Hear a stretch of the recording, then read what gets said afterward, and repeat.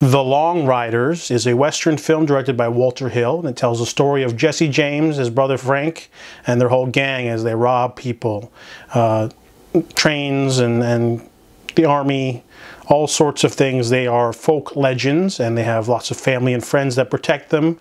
However, a posse forms, Pinkertons show up, and they uh, start messing around and it becomes more personal when a tragedy occurs and it ends up being a huge posse versus Jesse James and his gang. So what I really liked about this movie is that it's very gritty. There's a lot of shooting whenever there's uh, shooting, there's lots of blood and bullets, uh, squibs, you feel each shot. You know, not every shot hits because every not everyone's a terrible shot. It's just it's really hard to aim. Everyone's on horseback or running around. There's a couple of heists. There's a lot of barnyard dancing. It adds a lot of production value to the story because there's a lot of people just sort of hanging around doing dancing and music. Uh, that was their form of entertainment. They didn't have anything else. They didn't have movies or anything, just music and dancing basically.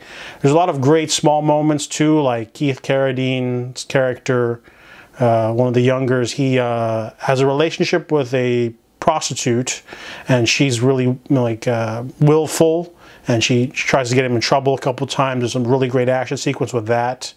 And the whole cast is really great. Dynamite cast. You've got Randy Quaid, Dennis Quaid, you've got Stacy Keach, you've got another Keach in there, you've got uh, Carradines galore. So they have like three sets of brothers in there to make it really look natural that they're, you know, they're my brother. They're actually brothers in real life. And the story is a little bit slow, but um, everything's pretty action packed. Uh, really, I like the films of Walter Hill. It has some sort of grit to it. So this movie came out in 1980, and it definitely still packs a punch now. Uh, really sad ending, but uh, you know showcases a, a, really good version of the Jesse James gang. So I give The Long Riders a seven out of ten.